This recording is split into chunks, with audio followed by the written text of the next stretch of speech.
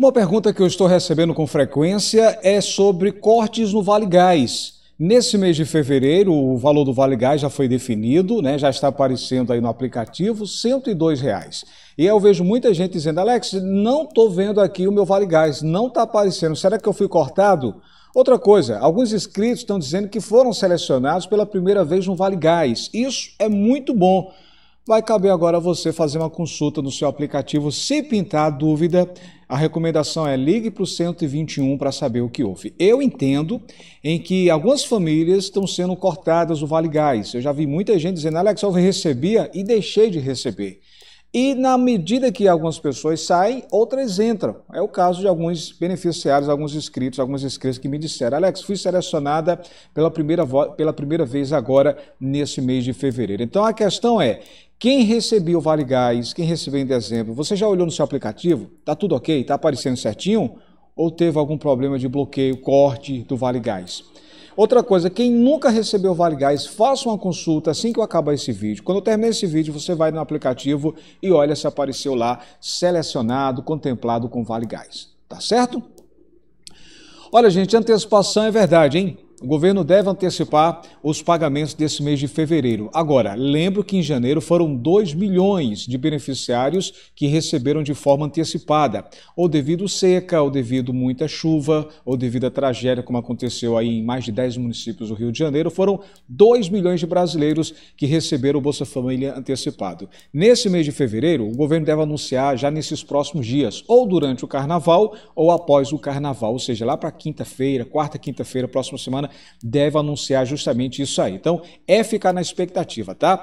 Eu acredito que eu e vários analistas, cerca de 2 milhões de pessoas que receberam pagamento antecipado, pelo menos umas 700 mil ou 1 milhão de beneficiários devem de novo receber antecipado. Então, quem tem NIS 2, 3, 4, até NIS 0, quem recebeu em janeiro antecipado, é, muita gente vai ser selecionado para antecipação de novo nesse mês de fevereiro. Agora, eu lembro que para poder você saber se vai ser antecipado ou não, deve, né, primeiro você ficar atento aí no seu município. Se continuar o estágio de calamidade pública, se o governo reconhecer que deve pagar de novo de forma antecipada, então isso vai acontecer, ok?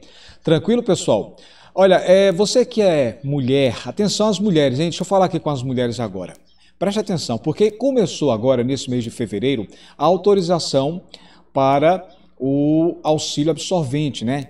Quem tem de 10 a 49 anos tem direito na farmácia popular. Agora você tem que baixar o aplicativo Meu SUS Digital. Eu vi várias mulheres dizendo: Alex, eu tentei, não consegui. E aí a recomendação é: se você não conseguir, faz o seguinte, vai no CRAS, tá? Para você é, refazer essa questão tá? Vai no CRAS, chegando lá no CRAS, eles vão fazer para você esse Meu SUS digital, tá? Porque aí é necessário ter um guia de recolhimento, tá? Para você ter direito aí a essa ajuda. Então, olha no teu celular, porque já começou nesse mês de fevereiro. Olha só, Meu SUS digital. Tá vendo isso aqui, ó? aqui ao lado, baixa o aplicativo Meu SUS Digital. Você pode baixar pelo Google Play ou App Store. Vou deixar esse link aqui embaixo, tá? Isso aqui, ó, como diz, é um antigo Connect SUS. Agora é Meu SUS Digital. Para que isso, Alex?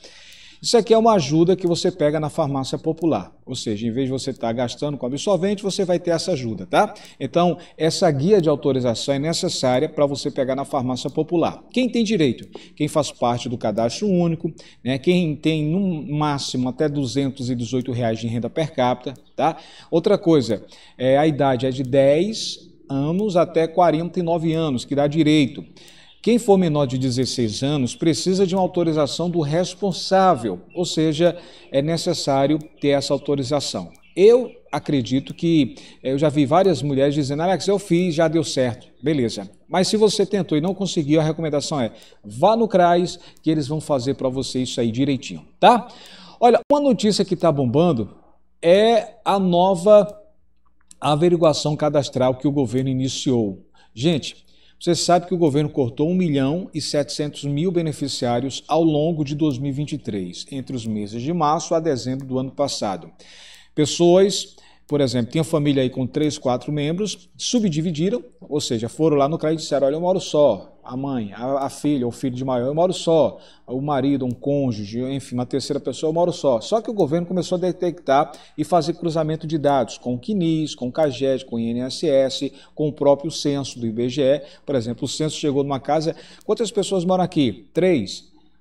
Passou o endereço direitinho. Aí o governo, quando foi conferir, nessa casa tinha três pessoas, mas aí essas três pessoas diziam que moravam separadas, moravam que eram unipessoais. O governo foi lá e confirmou, por isso que houve esse show de cortes, 1 milhão e 700 mil pessoas. E agora, o governo está de olho em 7 milhões de brasileiros que recebem Bolsa Família. Já começou agora, entre janeiro e fevereiro, esse pente fino, eles chamam de averiguação cadastral. Se você receber essa mensagem de averiguação cadastral, o governo vai até a sua casa tirar dúvidas, ou seja, confirmar se você merece ou não. Só que não vai parar em apenas um milhão. São 7 milhões ao, ao longo desses meses. Então, nos próximos meses, dos 21 milhões de beneficiários que recebem o Bolsa Família, um terço, ou seja, um a cada três brasileiros que recebem Bolsa Família vão receber a visita do CRAS de um agente fiscal. E aí o governo já está enviando essas mensagens que é chamada de averiguação cadastral. O que é isso? O governo desconfia de alguma irregularidade no seu benefício. E aí eles mandam a mensagem.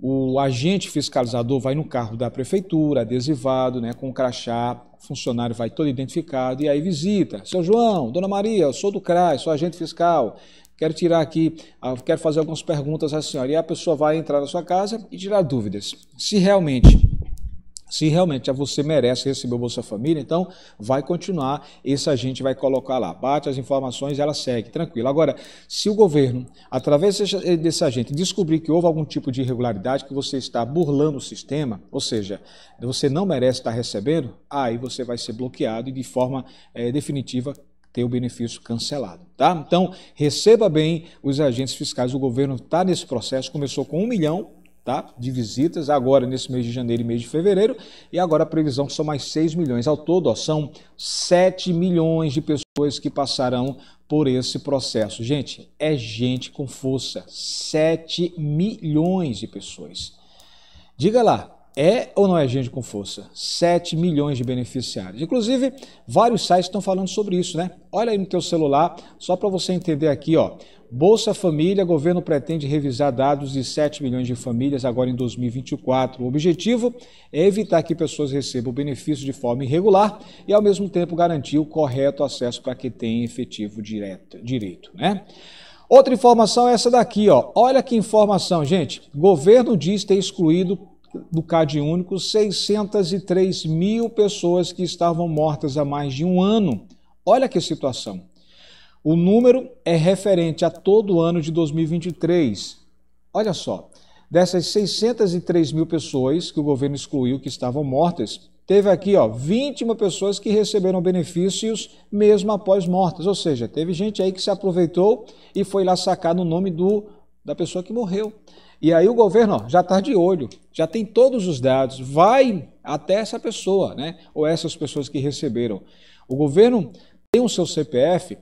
Tem as informações pelo censo do IBGE, tem as informações do CAGED, do CNIS, o governo tem você nas mãos, sabe tudo. Então, quem, for, quem burlou o sistema, quem fraudou o sistema, o governo está de olho para descobrir. E se for descoberta, a pessoa vai né, ter que ou devolver esse dinheiro, né, ou pagar uma multa. Se está recebendo Bolsa Família, vai deixar de receber. Então, o governo está de olho, tá? Então, lembro, o governo já vai fazer essa visita, né, vai avisar ao longo desses próximos meses. Serão 7 milhões de pessoas, já começou agora, 1 milhão, ainda falta mais 6 milhões. Eu acredito que isso vai rolar fevereiro, março, abril, maio, talvez junho, tá? E outra coisa, gente, o governo deixou claro que sobre a questão do aumento, né? O governo deixou claro que vai ter uma reunião agora, ou no mês de março, ou até maio, sobre o aumento que vai ter no Bolsa Família. O governo deixou claro que não quer liberar aumento esse ano. O aumento que vai ser em 4%, Bolsa Família deixará de ser 600 para ser 624, o governo quer liberar esse aumento só em 2025, tá? Eu já vi alguns parlamentares tentando aí conversar com o presidente Lula para liberar esse aumento agora. Eu torço que dê certo isso. Por quê? Porque tudo aumentou, né? Salário mínimo aumentou para 1.412, BPC aumentou para 1.412, seguro defeso 1.412, né? Lembro quem recebe seguro defeso e recebe Bolsa Família agora pode acumular, é lei, antes não podia, agora já pode, a partir de agora. É, aposentados, pensionistas, assalariados do INSS já podem receber 1.412 e você do Bolsa Família está no prejuízo. Se esses 600 reais, o aumento que o governo quer dar só para o ano, então você vai ficar no prejuízo, tá? Porque aumentou os produtos de cesta básica, aumentou combustíveis, óleo, aumentou gasolina, gás de cozinha aumentou. O engraçado, para quem não lembra, o gás de cozinha era 104 reais em dezembro e agora baixou para 102. Só que o gás de cozinha, gente, aumentou o preço. Vocês estão entendendo quanto é que está o gás de cozinha na sua cidade, hein? O gás de cozinha aumentou o preço. Em vez do governo ter aumentado de 104 para 106 ou 110, baixou para 102. Aí a pergunta, o gás de cozinha subiu ou baixou o preço na sua cidade? Comenta aqui, porque eu só vejo as pessoas dizendo, Alex, aumentou. O gás de cozinha aqui era 110, agora é 120. O gás aqui era 105, agora é 110. O gás aqui é 135 reais. Teve uma, uma inscrita que disse que está comprando gás de cozinha a 95 reais. Eu disse, puxa, onde é isso? 95 reais, que maravilha, né? Isso é bom. 95 tá bom demais, tá? Então essa é a questão, ok? Fique atento aos aplicativos, viu, gente? Os pagamentos vão começar sexta-feira, dia 16. Antecipação acredito que vai ter para muita gente. E aí, ó, tem quatro listas: lista de desbloqueio, tem gente que vai receber retroativo de um mês, dois meses, três meses. Tem lista de fila de espera. Tem gente que vai entrar agora em fevereiro pela primeira vez. Acredito que muita gente vai ter essa chance, né? Vai comemorar essa contemplação, tá? E lamentavelmente tem gente que já está sendo bloqueada, né? Eu já vi várias escritas dizendo, Alex, recebi uma mensagem, está bloqueado meu pagamento, e aí apareceu aquela mensagem de averiguação cadastral. Eu fico pensando, os prefeitos, os vereadores acelerem, liberem o quanto antes para que os agentes visitem essas famílias, né? Para que passe a informação para o sistema e o sistema libere, porque quanto mais demora a visita, pior fica.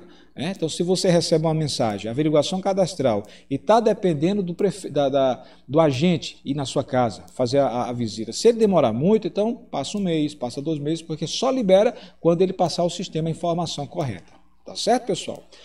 Outra coisa, o governo está pegando no pé de fiscalização sobre vacinação, hein? Vacinação, quem tem criança de até 7 anos, coloca a vacinação em dia de tudo. Vá no posto de saúde, avise, olha, eu quero deixar meu, vacinar meu filho, agora avise faça medição, pesagem. Agora avise que ele faz parte do Bolsa Família para que o sistema seja atualizado, tá, gente? O governo está pegando no pé também sobre os bebês. Bebê de seis meses, sete meses, nove meses é obrigado agora a ter a vacina da Covid-19 e crianças com algum tipo de comorbidade, com cinco anos de idade, são obrigadas também a terem aí a vacina da Covid-19. Então fique atento a isso, ok? O novo pagamento do, dos estudantes vai começar no final do mês de março, R$ reais. A prefeitura, aliás, a Caixa já está finalizando essas contas, então serão abertas 2 milhões e 500 mil contas digitais né, para esses alunos da escola pública até 18 anos de idade e o governo vai começar a pagar, a previsão é final do mês de março, 200 reais, 10 parcelas de 200, que vai dar 2 mil reais, seu filho vai poder sacar todo mês. Quando ele terminar o ano for aprovado, matriculou para o próximo ano, já ganha mil reais, esses mil já fica na conta, e aí será um total de 3 mil reais por ano. Durante os três anos vai ser 9 mil, mais a taxa do Enem, 9.200 reais. Lembro que essas 10 parcelas de 200 ele pode sacar todo mês. Agora, de mil reais, quando ele passar de ano, não. Só saca quando terminar todo o ensino médio. Certinho, pessoal? Tranquilo aí? Muito bem. Alex, palavra de hoje tem? Tem, gente. Tem que ter palavra, né? Palavra para mim, palavra para você, palavra linda por sinal, que está no livro de Salmo 68, verso 35, que diz: Ó oh Deus, tu és tremendo desde o teu santuário. O Deus de Israel, ele dá força e poder ao seu povo Bendito seja Deus. Ó oh, Deus maravilhoso, né? Nosso Pai querido que sempre nos dá uma chance, sempre nos dá oportunidade, sempre levanta uma situação, muda um quadro, sempre no, enfim, ele está com você. Se você parar para pensar, quantas e quantas pessoas foram mais cedo, partiram, por exemplo, com essa Covid nesses últimos dois anos? E você aí está vivo, mesmo de idade já, com tantos problemas de saúde, mas está vivo. Sabe por quê? Isso é provisão. Deus tem algo importante ainda na sua vida, tem um projeto lindo para fazer. Procure se santificar. Ô Alex, como é que eu me santifico? Se afaste do pecado. Procure estar no caminho do Senhor. Esteja na presença do Senhor. Ore mais. Procure mais estar em comunhão, em harmonia com o Senhor, tá? O nosso Senhor, Ele é o nosso amigo perfeito, nosso amigo ideal para todas as horas. Peça em nome de Jesus Cristo os seus sonhos, agradeça pelos livramentos, que são muitos livramentos. Você não imagina quantos livramentos que a gente recebe diariamente. Livramento de ser assaltado, de ser atropelado, livramento de morte, sabia? Agradeça a Deus. Agradeça a Deus. Peça a Deus, Senhor, esteja no meu lar, transforma o meu lar, muda a situação dos meus filhos, dos meus pais, do meu marido, da minha esposa, dá um renovo espiritual. Realiza esse sonho que eu tenho de ter meu próprio negócio, tá? Conversa com Deus do jeito que eu estou conversando com você, tá? Eu sempre faço questão de dizer que o Senhor é o meu pastor e nada me faltará. Eu e minha casa já servimos ao Senhor. E você também? Eu e minha casa já servimos ao Senhor. E você? Já? Pega esse vídeo, compartilha com seus amigos, parentes, vizinhos, colegas, participa de um grupo do WhatsApp, pega esse vídeo, compartilha nesse grupo do WhatsApp. Tem gente que precisa ouvir essa palavra. Posso contar com você? Então faz isso. Amém, amados? Faz isso, tá? Aliás, você já deu joinha, já deu like aqui? Dá essa moral aqui, ó. Você que gosta do nosso trabalho, você que aprecia as nossas informações aqui, é para você se inscrever. Tá vendo aqui embaixo o inscrever, se destacado em vermelho? Clica nele, vai aparecer um sininho. E esse sininho você clica em todas as notificações. Toda vez que tiver vídeo novo, o próprio YouTube irá avisar você. Combinado? Fez isso? Estou confiando em você, tá? Estou no Instagram, blog Alex Silva, segue a gente no Instagram e estou na rádio, Rádio Brasil FM, ponto rádio 12345.com. Dia de bênçãos, dia de paz. Deus abençoe a todos. A gente se encontra, pessoal. Tchau, tchau, hein? Segue a gente lá no Instagram, blog Alex Silva, lá no Instagram ou na rádio, Rádio Brasil FM, ponto rádio 12345.com. Faça uma consulta no seu aplicativo agora, veja a questão do Vale Gás. Quem tem direito a Vale Gás? Famílias grandes com 4, 5 ou mais membros, mulheres vítimas de violência doméstica têm direito ao Vale Gás e famílias que têm algum membro que receba o BPC, o governo dá prioridade a essas pessoas. Essa é a prioridade que o governo seleciona para o Vale Gás, ok? Deus abençoe, a gente se encontra. Tchau, tchau. Atenção Pernambuco, hein? 450 reais, 300 reais as mães de Pernambuco e os 150 do abono. A qualquer momento vai sair o calendário. Fica atento.